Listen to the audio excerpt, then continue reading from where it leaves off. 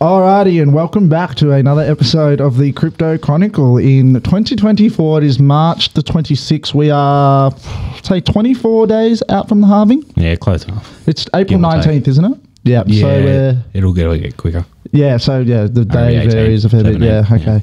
Um, well, there's a fair bit to get through. It's been actually a quite wild week in terms of price action, hasn't it, since we last uh, touched base? I can't actually remember the exact pricing last week, but I reckon we've had a pump and dump, sorry, a dump and then pump. Yeah, it's sort of. I think I think we actually were Yeah. seeing just the start of that bleed Yeah, okay, yeah. and Um, consolidating. Now we've gone back, which is good. Yeah, yeah. Close-ish. So obviously, for those that don't know, uh, last week, yeah, we're probably around that sixty. I think we're at that sixty-nine thousand dollar mark, weren't we? Around that prior AF level, and then we dumped to about sixty thousand eight hundred. I think was the low, um, the the lowest of the lows. Um, we repumped after that, came back down, repumped again. Um, but it's been really good to see. Obviously, I think it's been a big week of grayscale outflows.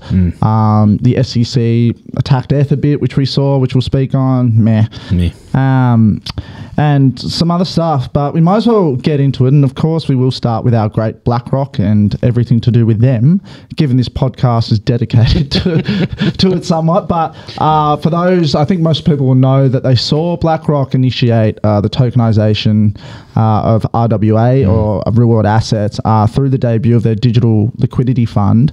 Yeah. Um, so for those that don't know, I'm pretty sure anyone that's listened to this podcast know who BlackRock are. They obviously have their own IBIT ETF in Bitcoin. Um, but the cool thing about them is like I think my expectations were that they'd all just focus on Bitcoin for a while at least. Kind You'd, of you'd think that would be Yeah. the natural thing, but it seems Yeah. as though the snowball effect is becoming a real thing. Yeah, it is. It is. Um, and you know, I think the snowball effect everyone wants to see is when, uh, if ETH gets approved, what what the kind of snowball effect will be there. Whether there'll be Sol ones or Link ones, and or kind of God. kind of those joint ones you can do. Imagine, like, where does that line get drawn, though? That's going to be the thing. I guess by the SEC, doesn't it? I know. Um, but I, yeah, because you know, in their eyes, a lot of these are securities, and obviously ETH is now in their eyes. But, um, anyways, uh, you know, I think what's cool about it is the, the coolest part isn't about what coin it's specifically going to or what not like that. I think it's more so just their belief in the technology and blockchain. Yeah. Whereas I think at, at the start, if you saw them with Bitcoin and stuff, you probably my initial thoughts were they well they just want to make the money, right? They see where the money is, which is true. Um, but I think now they've come around to a real understanding of the utilization of blockchain technology and what it can do. I think that's why they want to get into ETH. I think it's why they want to create this RWA fund Mm. um, so they can leverage the technology um, and then streamline their own processes. Yeah, um, exactly, you know. I think enough people that kind of read into blockchain, they kind of make that shift from going, oh, it's useless to, oh, I can actually see how it looks in the real world. Um, and seemingly BlackRock and those companies are cluing on a bit. So Yeah, definitely. um, that's good. But moving on to, uh, well, Van Eck, and I think, I don't have it down here, but Grayscale's futures ETF got denied. Well, sorry, delayed. Yeah. Uh, Van Eck's spot Ethereum ETF has been uh, extended the deadline as well. what are we expecting? Is it still that May? Yeah, so it's still that May 23 deadline. Um, and, you know, I think everyone's a bit shaky on this now. I think Eric, the great Eric, had it at 75%, but maybe I saw someone talking about 35%. I don't know how they derive these numbers, but. Um, yeah, there's all, it's all a bit messy at the moment, Ethereum, isn't it? Because they brought out the Dencun upgrade, which will, which obviously reduced transaction costs for layer twos. wasn't so focused on the main net itself, but um, so that was great news, and everyone was looking forward to that. And then just out of the blue, obviously, when when things are flying, Gary and the SEC come out and they want to classify it as a security. Didn't we have the same thing about a month and a bit out from the BTC? Probably, You know what I mean? That pullback of like, oh, we're not really sure. Yeah, yeah, it happens. Um, like the, the Ethereum price action, we should speak on as well, which was just a classic the last two weeks. It was Yeah. like a, you couldn't have gotten a more typical tinfoil hat conspiracy playbook that ETH is at you know forty one hundred. You see it like awkwardly getting sold off more yeah. than dumping more than other. Then all this. SEC news comes out, it dumps like all the way to three thousand or like three thousand dollars, and then it's instantly bought back up to thirty five hundred. It was actually beautiful because I won't lie. I remember looking at it and it was mm. like that 41, and I went, God, I wish I bought more. Yeah, And, then- damn, did I. yeah, exactly. So um, I think the the smarter investors use that as an opportunity, um, and maybe it was the smarter investors that were you know manipulating the price as such. I'm not going to say BlackRock was the one that was planning all of this. Point Fingers. We're watching you, Larry. Yeah, Gary. Um, and yeah, I think yeah, it was classic, and I think it's back at 3600 now, close to 3700. Yeah, Yeah, something like Um, at least this morning it was. So, um, you know, I'm still, you know, I think I've said it a few times on this podcast, and I say it a lot to our members when speaking about the FETF approval. And it's just if BlackRock's there, I'm confident. That doesn't matter what comes out their way in terms of, I mean, SEC took Grayscale to court over the ETF, failed. Uh, SEC took Ripple to court, classifying XRP as a security, failed. Um, I don't think unless the uh, evidence or burden of proof they have on this Ethereum Foundation is huge, then you know I'm not so sure that the SEC is going to succeed here. Um, No such thing as a fire if or you are a fire extinguishers. Yeah. Let's be honest. There's Yeah. enough money to throw at it. Doesn't matter. I agree. I agree. Um, but yeah, I think the general kind of consensus here is what they usually say. You know, senators and Gary are coming out and saying, you know, F is got so much risks for retail investors. Blah blah blah blah blah. Um, no one cares, Gary. No one cares. But um, moving on into a more positive light, uh, yes, they did have the Dencun upgrade. It went successfully. We spoke about it a couple of times on the podcast. Um, It was fair essentially, what? It was fair dinkum good though. Fair dinkum good. yes, it was. Um, so obviously, we all know Ethereum's great scaling challenges. Uh, as a tech, a lot of us probably don't like it, um, but that's what Arbitrum, Optimism, Polygon, and all these layer twos are there for. And essentially, what this upgrade has done is, even though gas on those chains is quite cheap, it's become even cheaper. So, um, yeah, if you go and try and use a chain like Arbitrum or Optimism now, I think if you go and use it, use the gas, and then compare it to gas used in the past, it'll be a fair bit cheaper. Um, Which is ironic, right? They've upgraded their own system to make layer twos cheaper. Yeah, but I mean, like it's good because most people that have a sound understanding of investing in Ethereum obviously expose themselves to layer twos, like we do in the Trading Academy. Um, in the Trading Academy, I think we hold two, being Arbitrum and Polygon. Um, as our main two layer twos to Ethereum, uh, Polygon we invested a, a, a long while ago. Arbitrum um, was obviously given it only came out in I think exactly a year ago, March Yeah. of 2023. Um, but we've been accumulating that actually as a fairly big play in the bear market. Um, and yeah, it's just it's good to see that you know these layer twos. And as I said, like if you're a smart investor, you're exposed to these. And when an upgrade like this comes, and you're like, oh, it's not that good for F. Go and look at the volumes Yeah, of exactly, Arbitrum and. Optimism, and you'll see how much the volume has increased just from that upgrade. Yeah, exactly. Um, and when you when investors go to invest in layer twos in a bull market, they'll be looking at TVL volume, Yeah. which one has the cheapest gas. So as long as you land on one that's achieving that, such as an Arbitrum, Optimism is another one. Um, I think you'll you'll succeed in investing quite well yeah, definitely. do your own research, not financial advice, of course. Um, so you know, I think whilst the challenges remain there for Earth, um, as a for gas fees itself, um, you know, it's obviously good to see the layer two shining, and we've obviously got the base ecosystem that's just come out, um, which is making you know the layer two race a whole lot hotter. Obviously, for those that don't know, layer two base is a layer two to F, but it's you know pushed by Coinbase. Um, I think we'll speak about Base in a different podcast, but you know, given Coinbase is the most used crypto app in the peak of a bull market, you know, it goes into the top five, top Yeah, ten. exactly, uh, um, you know, I think it would be wise to get exposed to Base um, because when we, we call them normies, which is you know other people that don't invest in crypto, but when they come post all time highs, let's just say in June of 2024, and Bitcoin's at hundred thousand dollars, they're going to download their co- their Coinbase app. Maybe Oh, they're, well, they're going to download their first. Coinbase app and they're going to go to Base and they're going to say, "Hey, there's Pepe the Frog Base." Don't buy that one though. But do you know what I mean? So if you can get exposed to Base, I think you're going to be doing pretty well. That's a another non-financial advice tip. I was going to say, you've, you've gone all out there. I love that. Yeah, sorry. I'll just yeah. You caught me off a, guard. I'm blushing slash really excited. went on a bit of a rant, but Yeah. um, just further news on the institutional front. Um, there's actually two things. One thing I don't have here that I'll, I'll mention after, but Goldman Sachs are reporting that their hedge fund clients are re-entering crypto very strong this year. Um, this morning we saw a gold miner from South America.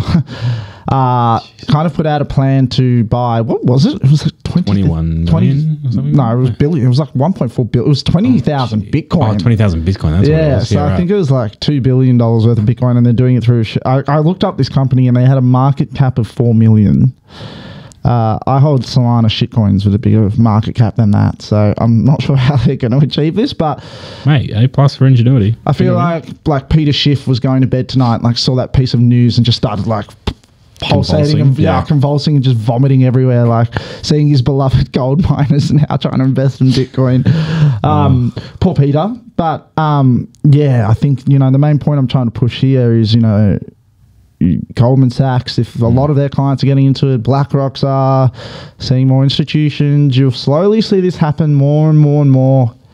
And you know what? It only makes Michael Saylor look a bit smarter because they're copying his playbook. That, that minor one, if you read more into the story, I'll actually do an article on it after and I'll post it in the written chronicle for you to read. But, you know, it's part of that, you know, share plan buyback type of thing where you um, do that and then raise money, buy Bitcoin. Yeah. Surprised more companies don't do it, but It's got to be hard, probably not the easiest thing to do and a bit No. risky, but hey. especially in Aussie. Yep. Um, so ASIC as well in Australia for a bit of Australian news is finalising uh, reforms for the cryptocurrency sector. I was actually at dinner with my mother last night, Good boy. and yes, I can't see her on Easter, so thought I'd you know Valid. yeah. Um, and I actually can't remember how me and her, her and I got on this um, this conversation, but we were talking about. Uh, and I think we've spoken about on this podcast is how poor we are as a nation with right, uh, yeah. tech reform and innovation. I think Yeah. I had that statistic. We were like 63rd out of 64 developed nations in tech Yeah. innovation and regulation. Um, but, you know, it's finally good to see that they're kind of getting some reforms for our sector and kind of, I think they're trying to balance consumer protection, market integrity, and obviously innovation. Probably a pretty tough thing to do because you want to protect everyone, which I think they do it in a wrong sense. A lot of governments, um, you know, the well, the easy examples for Australia, you know, CommBank and ANZ and stuff, not allowing you to spend your money anywhere, and in their mind, it's saying we're trying to stop you from losing your money, but you know, that's not really financial Called freedom. liquidity fighting, isn't it? Yeah, and then um, so you know it is somewhat good, but I think it's hard to balance. But Mm. hopefully, you know, when they kind of release this, the full proposals, I think hopefully the frameworks and stuff are good, um, and Yeah. no one's too unhappy. Uh, I think we'll still be unhappy because I think we're still going to limit everything yeah, probably. known to man. I'd love to see what the inflows versus outflows of something like ANZ is Yeah, when the market goes up and down. yeah. Well, I like it happened to me. I um was at home and I didn't have access to my wallets here at work, and I wanted to quickly just do something, and I think I deposited 400 AUD to Coin uh, CoinStash. Yeah, um, was? CoinStash. Um, I think it was my first time ever depositing, your second time ever depositing CoinStash.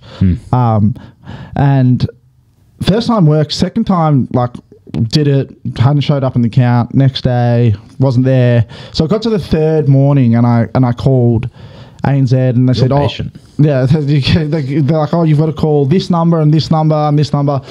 You know, half an hour of holding, blah blah, and I finally get on, and yeah, it's the guy saying, "Oh, well, our blocking of payments and where we hold it in the fraudulent department is based on trends.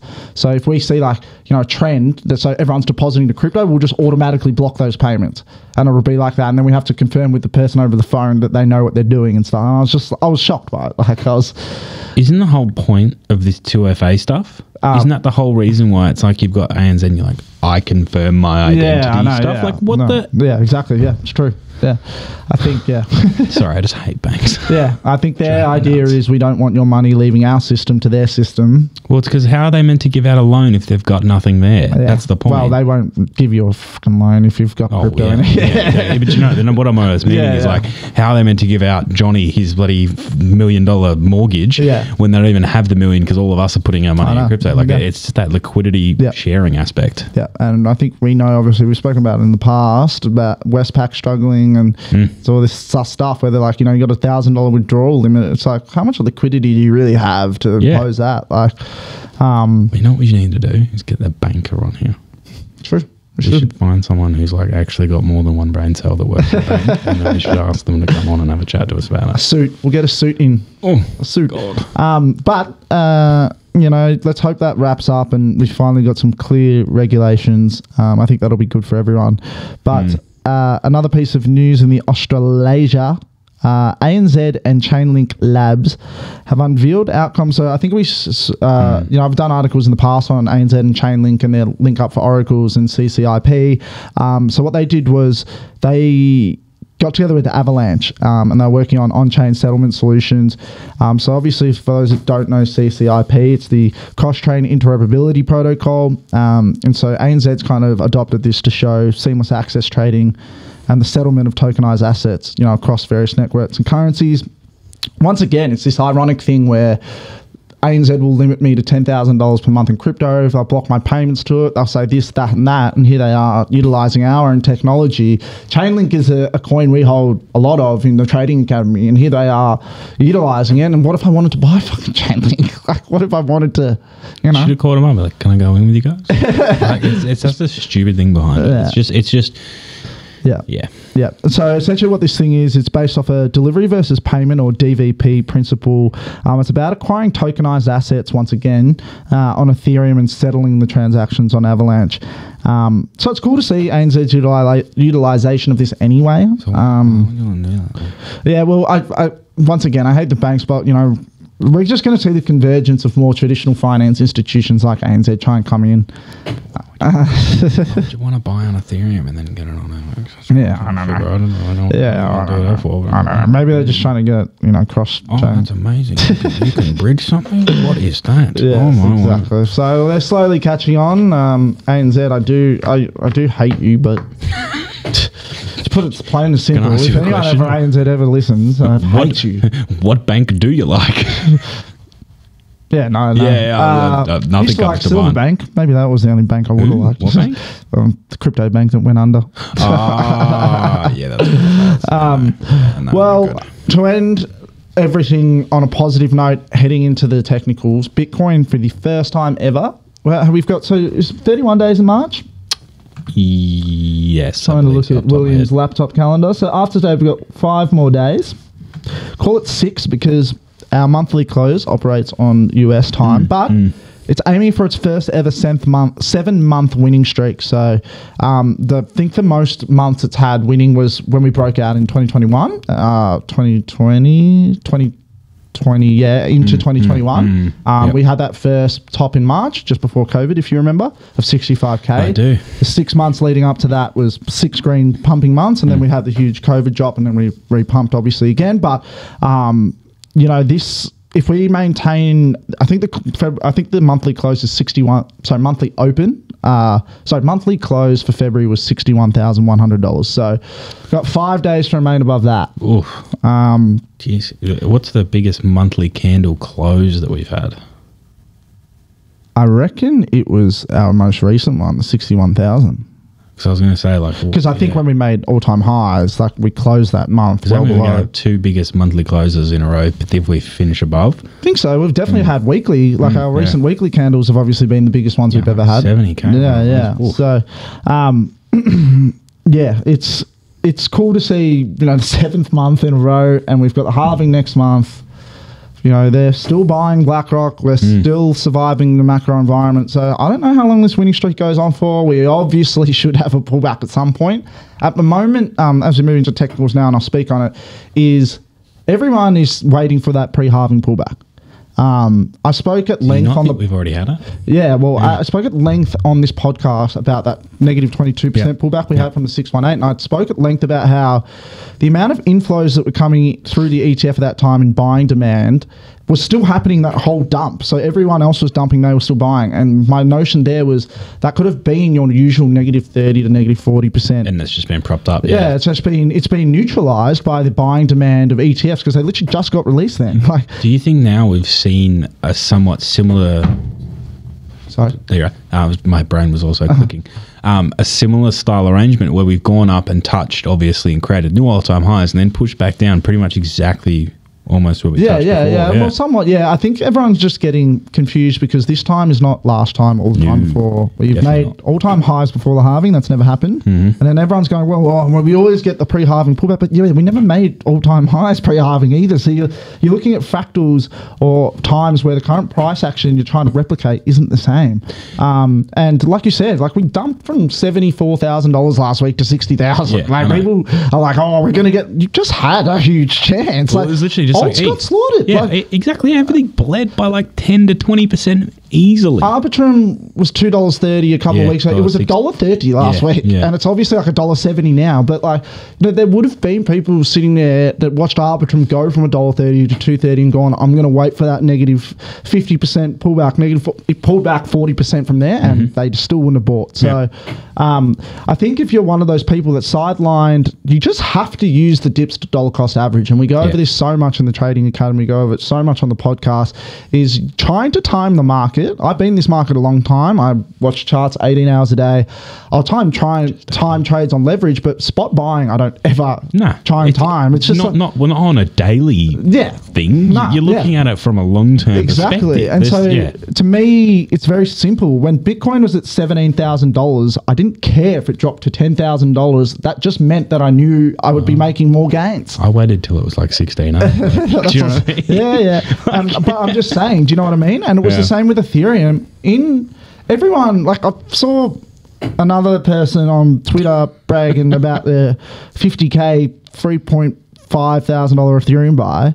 And Oh, yeah. but anyways, and it's just like I was buying Ethereum at nineteen hundred dollars in twenty twenty two. I bought it at seventeen hundred. I bought Mm-hmm. it at fifteen hundred. I then bought it at thirteen hundred. I then bought it at eleven hundred, and I then bought it at nine hundred. My average buy was fourteen hundred dollars for this Mm. cycle. Um, there are so many people that didn't bother doing that that would beg for a fourteen hundred dollar entry, Yeah. and they're trying to buy it at three and a half thousand dollars now. I didn't time anything. I literally from June of twenty twenty two. To November of 2022, did five to six separate ETH buys spaced one to two months apart. I got a $1,400 average buy, um, and that's obviously a you know, was it a 3x, you know, a, a week or two ago? And I assume, you know, in coming months, that'll be at a lot more.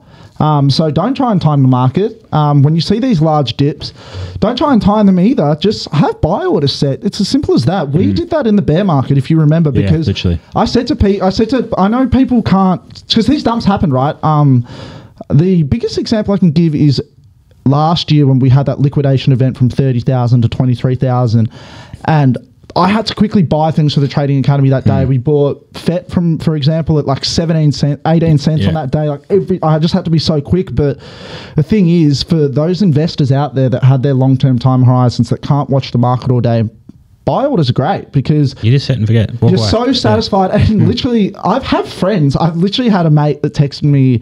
This was two to three weeks ago um, on WhatsApp, and he said, "Oh, he texted me saying, "Oh my god, Mitch, I just checked my Binance account.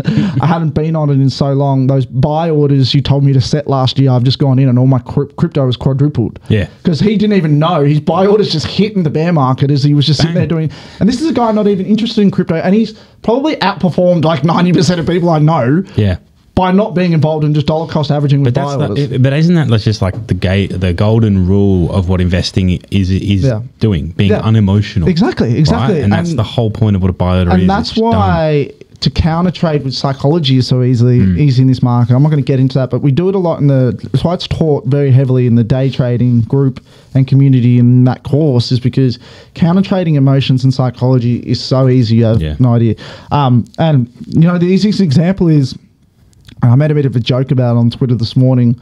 I said they asked for low 50s, they got given low 60s. And what I meant was, is like, when price is at 62,000, when it's at 63,000 and it's come down from 73,000, 99% of people you see are saying we're going to 50,000.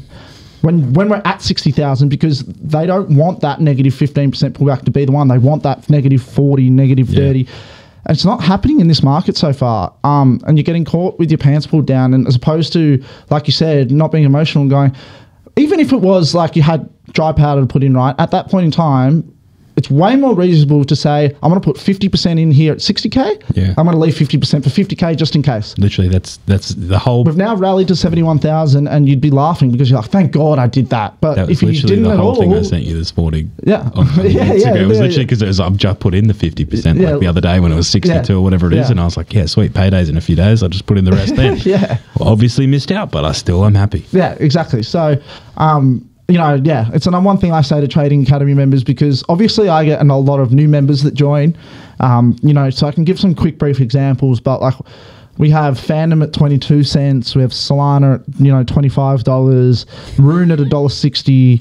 Um, you know, all from just dollar cost averaging in the bear market, and I have um, you know new stu- uh, new members that join and they say, you know, how do I approach this? And I just say, just dollar cost average. Yeah, I understand sure. you've seen it pump 5x. I've given the explanations of the altcoin market at the moment, which we're mm. mostly invested in, and how far off the roof we're scratching. You mm. know, we're so got so long to go, and I say. You won't ever get angry if you just put initial amounts of capital in, you dollar cost average from there. Yeah. So even if someone had bought, you know, Solana two weeks ago, dumped to $100, if they'd been buying it at, you know, 120, 130, and they said, okay, I'm going to set a buy order for $110 Yeah. just in case we get the pullback and I'm asleep, blah, blah, blah, and it's gone up to 150. They've woken up, snagged a $110 order, and it's Yeah. almost $200 now. Yeah. And someone you know, a few weeks ago would have gone, I'm not investing in Solana. It's the third biggest coin. I'm not going to be able to double my money. yeah. They've doubled their money in a few weeks on Solana, the third know, biggest coin. So, um, easy example is Fantom. I, I actually use that as my example. I think if you remember Mm. the Trading Academy Discord, because we had a few members join, and I said, look, here's one that hasn't pumped as much as Sol, Rune, whatever they are, Link. Mm. Um, Fantom is currently 44 cents. Um, we got in at 22 cents you know, a year and a half ago. You know, it's gone up, it's gone down. I would suggest to you guys, given my outlook on the Sonic release in a couple of months, what I believe in it as a tech, uh, technology, uh, obviously there's Andre, there's everything going for it. I said, you know, I see, yes, it's 2x for you, but I see this, you know, minimum 5 to 10x Yeah. um, minimum. So put some capital in now. If we go lower, great. You might be able to grab it with us. But if you keep adding amounts, you know you're going to be all right. And you know it's, it's at a dollar twenty now. Um, that conversation was two to three weeks ago, I think. Yeah, exactly, Um, yeah. So. Just because something's in a top 50 coin or a top 20 coin doesn't mean, you know, you buy Bitcoin, you want to, it's the same thing, but Bitcoin's going to have Yeah. less of a return than the others. There's just more, you know, safety and security in investing in something that's proven, isn't it? Um, but Yeah. anyways, uh, I feel like we talked a lot then on not so much price action of what's happened, but at least the psychology around it. And hopefully, a few people that are maybe sidelined or that you know are looking to enter have listened to this and kind of got a good idea. And obviously, you know. If this is something that interests you in learning further, or you do need, you know, a bit of guidance, or you want some market updates so you can figure out what levels to dollar cost average at, um, you know, get in touch with Taylor Ive. T- Trading Academy is a great place to start. And then if you're more into obviously the swing trading, day to day trading, you know, entering in um, and then exiting a few days later, a few weeks later. Um, that's what we've got the day trading and leverage trading course for. So enough on the price action and the technicalities. Mining is quite brief this week. Yeah, brief. Everything's moving. And Yeah. so at the moment, we're just seeing that obviously difficulty is commensurate to obviously what's happening price wise. So it's a bit cloudy to put too much into it. Yeah. So there's not a huge brief. I think everything's pretty stable at the moment just because it's commensurate to what's happening. Yeah. But obviously, you know, to be honest, the BTC market looks really good at the moment. Obviously, still stable returns, which is what you want when it comes to mining. When you look at alts, in all honesty, you usually see, as much as they're really profitable right now, usually about eight to 12 months post halving, once you start to see that bull run, Yeah. that's when you get new machines. And so purchasing old machines at the moment is not 100% the best idea because you can get superseded. Yeah. And so it's just, I guess, at the moment, Bitcoin's the way to go.